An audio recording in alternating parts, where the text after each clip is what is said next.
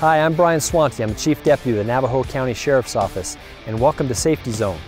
Today we're going to be talking about some new legislative changes that took place when it comes to traffic law.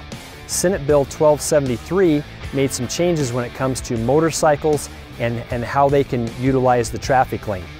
If, uh, if there's two lanes of traffic going in the same direction, two adjacent lanes, and the speed limit is 45 or under, then a motorcyclist can progress past that traffic utilizing the same traffic lane as a car. They can go to the front of the line and, and then progress through the intersection from there. Some exceptions to this are it has to be at a 45 mile an hour zone or less uh, for a posted speed limit. The motorcycle cannot exceed 15 miles an hour while they're overtaking the, that traffic and the motorcyclist needs to be, make sure that this pass or this action can be done in safety. This comes into effect later in September uh, when this law becomes official. So for the motoring public, if you see a motorcycle coming up between you, you and the vehicle next to you, don't be alarmed.